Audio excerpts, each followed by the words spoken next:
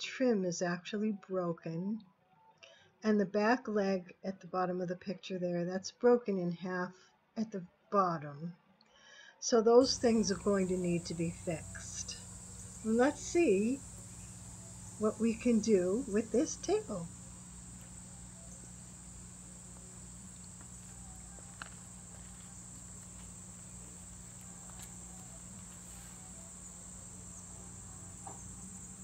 These are easy fixes on the drawers.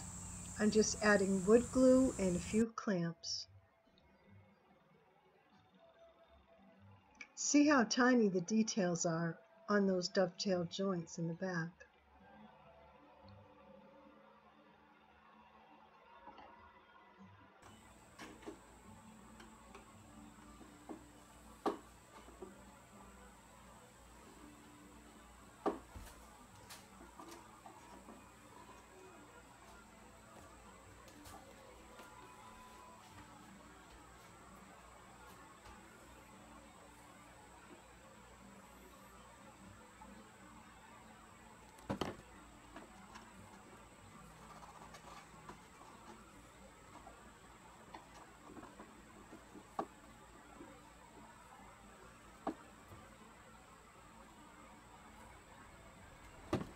I'm giving it a good scuff sanding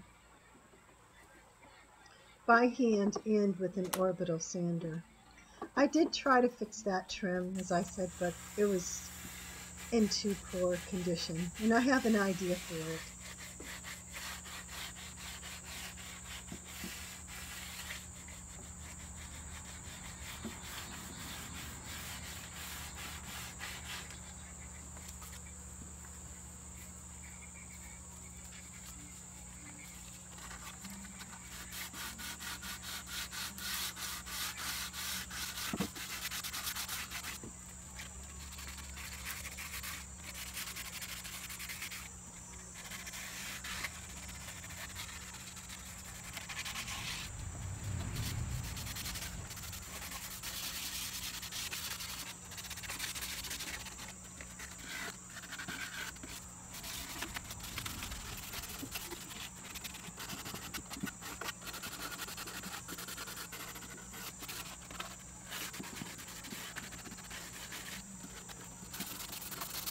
You can see that I removed the trim here and filled in the holes with some wood putty. I also repaired the veneer and the wood looks pretty good.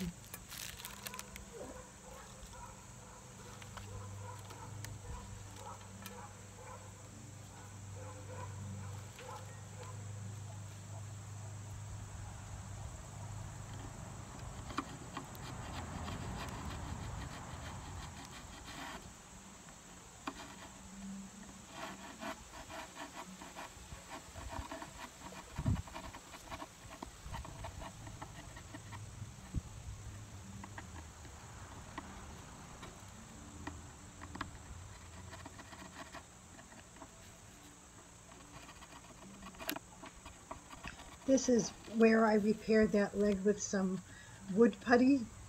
I used Quickwood and it's a two chemical clay that you mold into whatever position you want. It hardens, hardens up really well. And I use um, an orbital sander after I have it all chiseled.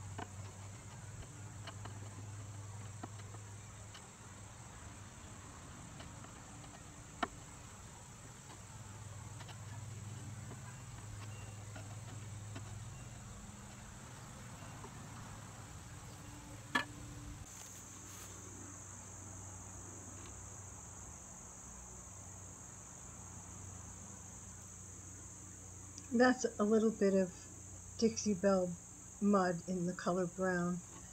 And it's just a soft, easily sanded wood putty.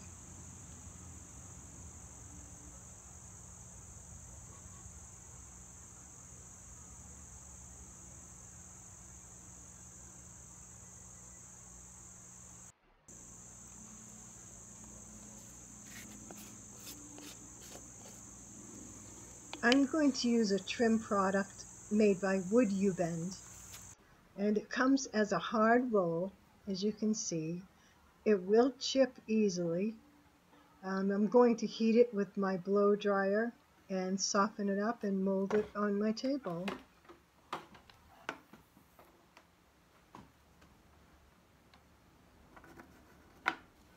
You could use a heat gun, it would probably be a lot quieter.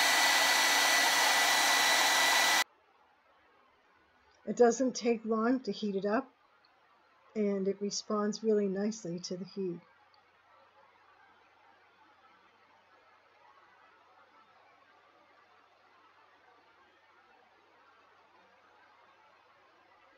The trick to using this Wood U Bend product, at least in the trim, is to be patient.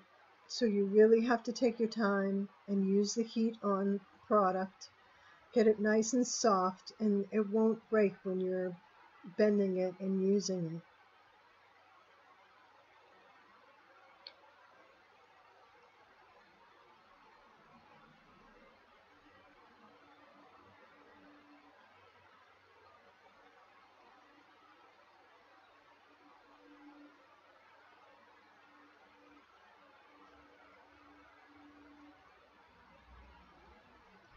So I'm going to want that trim to turn to the left as you can see it at uh, 90 degrees about going around that curve of the table. So I need to put a lot of heat on it and I have to do this a few times actually and bend it little by little. And I'm going to add a piece of tape here so it stays in place. And that's really all it takes is patience and consistency.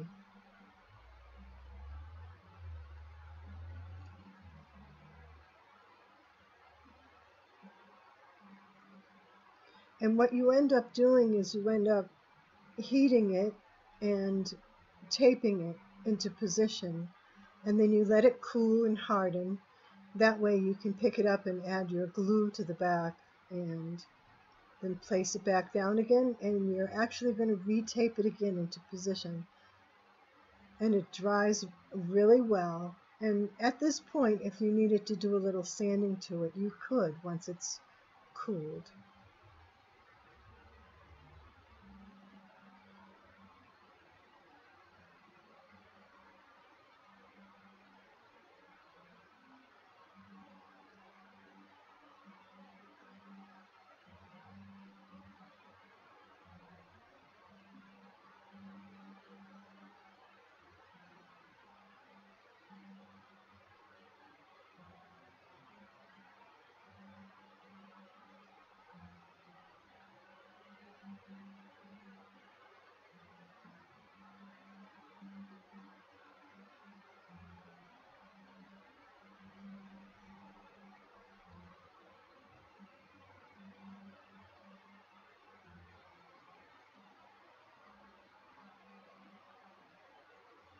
I'm going to be making a cut at the edge of the table now.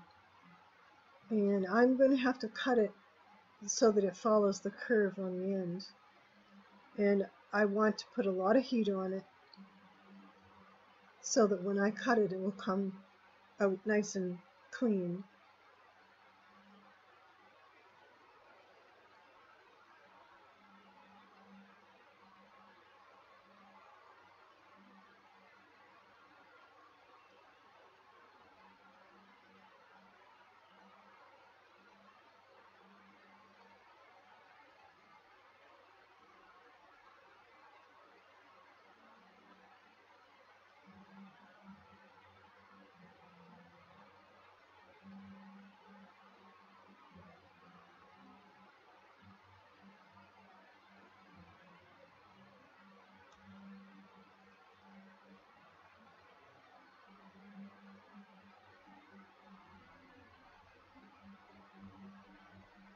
Getting it all ready for some primer.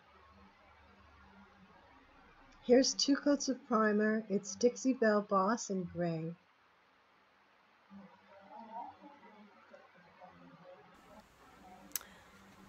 Okay, so I'm also going to put some caulking right on these corners just to make sure that everything is seated where I want it. And there's no spaces for anything to get altered. And so I'm just going to do a little bit of sanding of the um, patches that I put on here, uh, just to make sure that it, it will take the paint okay. The color paint I'm using is Dixie Belle, and it's a dusty blue. I was going to do a blend on the legs, and it blended really well, as always. Dixie Belle just blends beautifully. But it made the legs look really spindly, so I painted over it in the dusty blue. And the body of the table is going to be, or it's painted in white. It's called drop cloth, and it's also a Dixie Belle paint because I'm putting a decoupage artwork on the top and on the sides. I'm going to cut it in three pieces and apply it that way. I will, though, put a blend on the drawer front, so I'm going to use Dixie Belle Blue and Drop Cloth.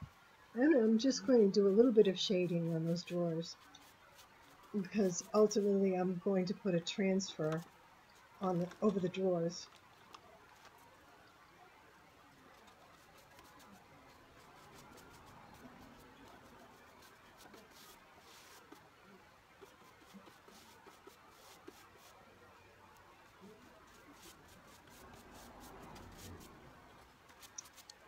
It's just a little subtle blending and I like to do it with a natural bristle brush.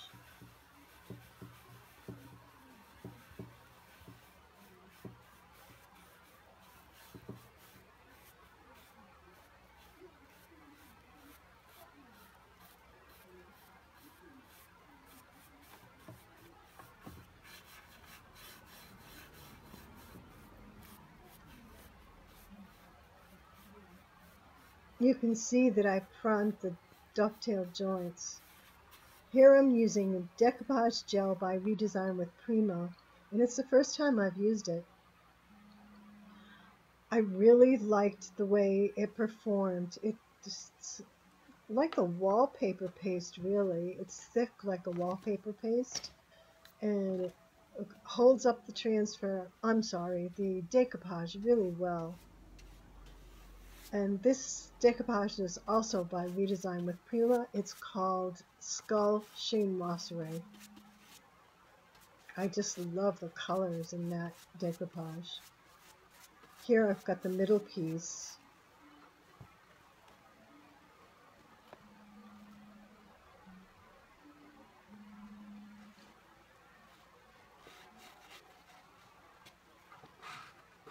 I put it on as if it was wallpaper.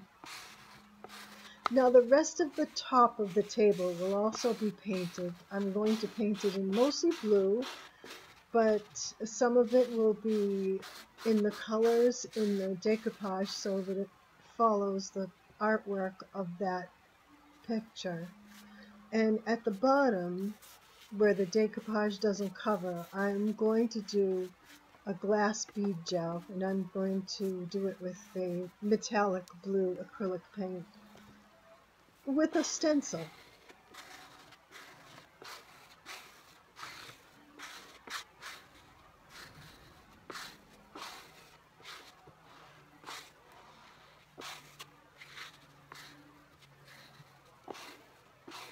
I love all those colors in that artwork.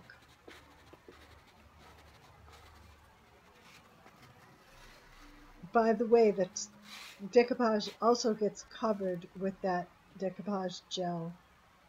And later on, I'll add a clear coat over it. I don't think you have to, it's just my process.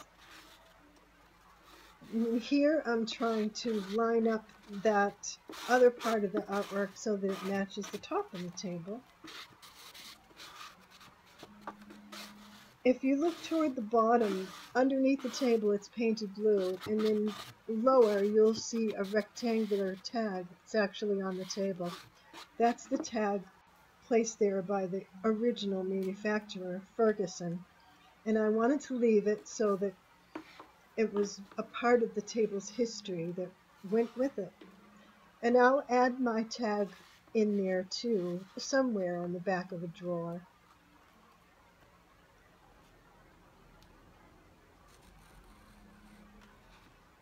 Though I am using a razor blade here, I end up cutting that decoupage with a pair of scissors.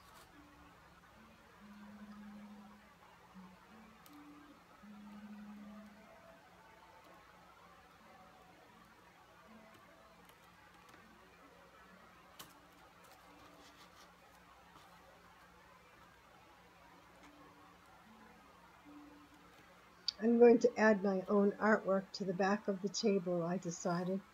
I was trying to follow this theme in the decoupage of a setting sun, but I'm going to do more stenciling around the sun in the sky, or what would we would think of as the sky, and I'll do more stenciling at the bottom where I had painted a golden field.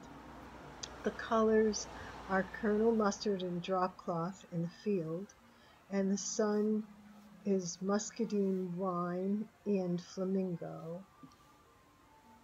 That blue paint on the table is dry, by the way, so because I'm going to do a little blending on the sun, and it would be a real mess if the blue paint was wet.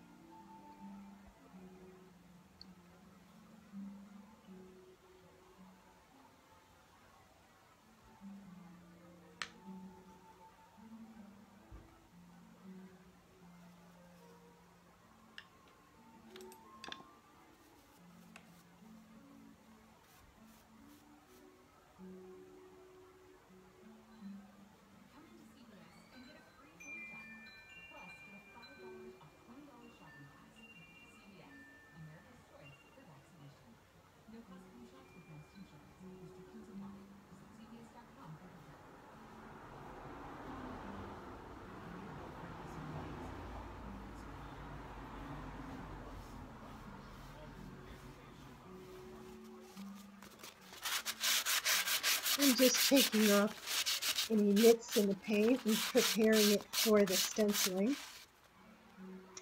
And I'm going to use a metallic blue paint. Uh, it's an acrylic paint actually.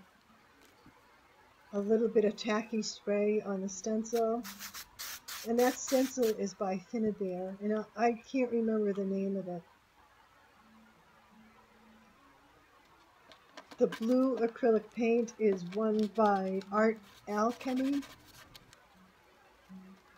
And the paint that I will use at the bottom of the picture there is also Art Alchemy. I like their acrylics.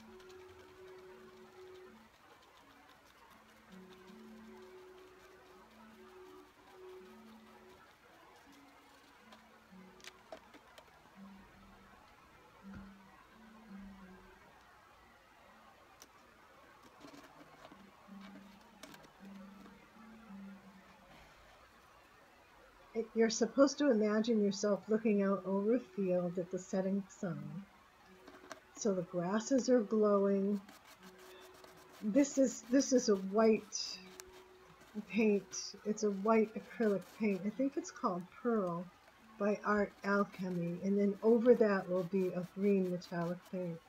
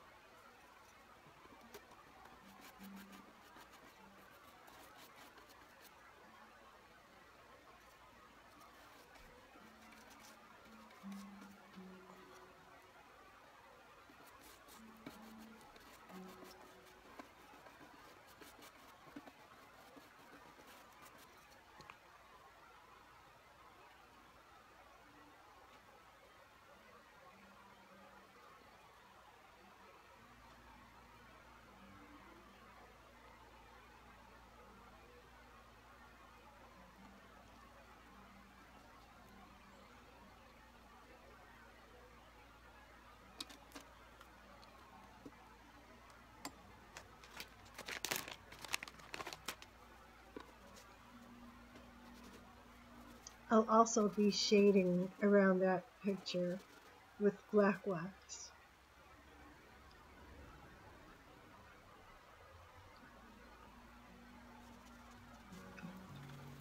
So this transfer is a folk art transfer, also called chinoiserie. And I love the blue colors in it. It's so pretty. And it's also very forgiving to use. I have to cut this transfer a lot and for instance when you'll see that I actually drop part of the lower transfer but I just put it back on and rub it on and you never know that um, it actually had come off.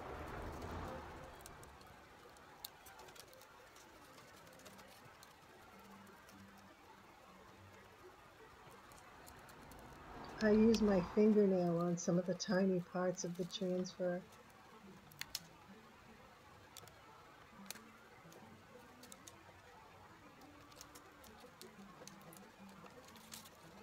You can see my kitty cat working really hard in the upper corner.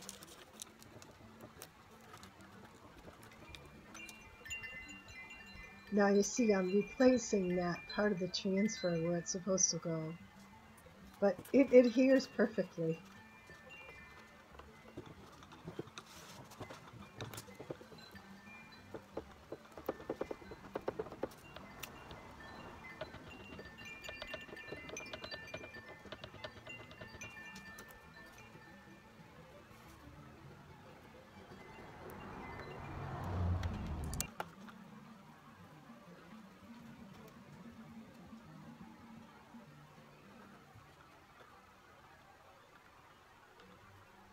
I burnish it with my fingers afterwards, but I'll also use a soft cloth and then I will add my clear coat. I did that off camera.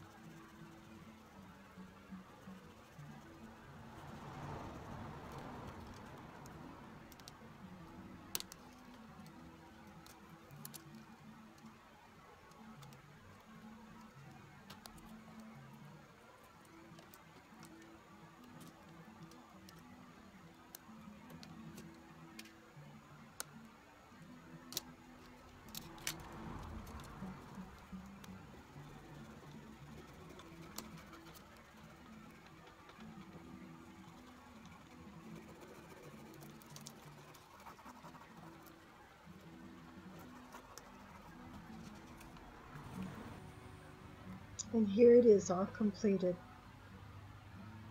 Don't you love the blue in that transfer?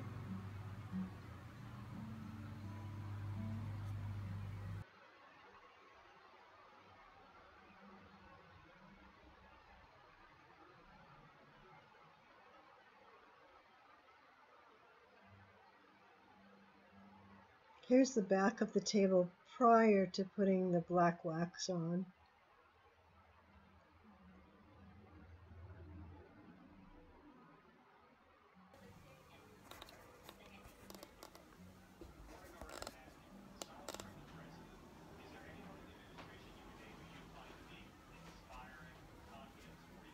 This is Howard citrus shield. And I'd like to use that all over actually. So it everything has been clear coated except for the insides of the drawers.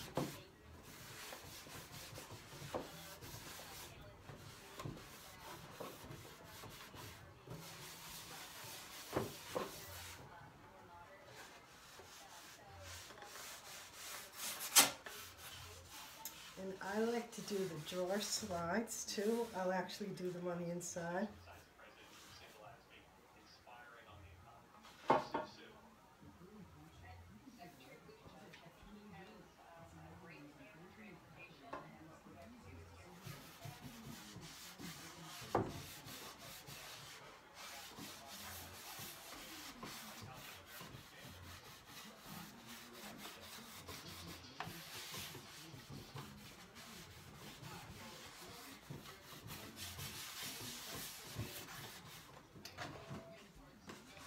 You can see that I've stenciled the sides of the drawers.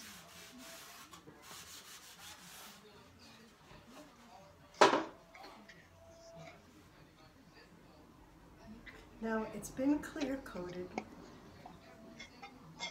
but I'm going to go over it with some clear wax because I'm going to add some um, decorative waxes to it. So I want to give it a good a base coat of wax and that way I can move my wax around. It's been clear coated and sanded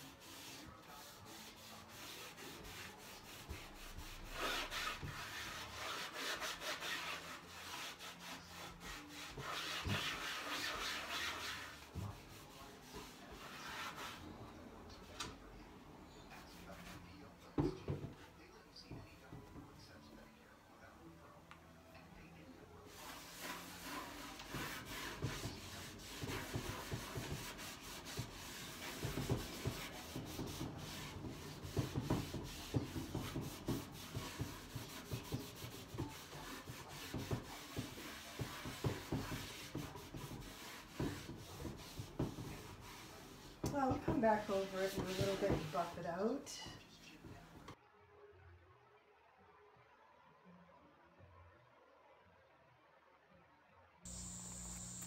Here's the table in the beginning. Let's see the transformation. Oh, look at that.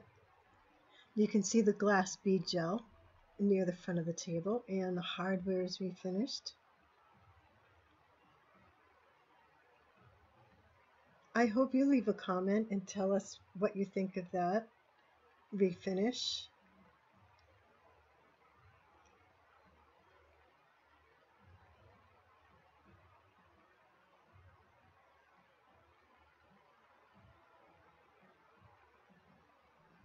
Thank you for watching.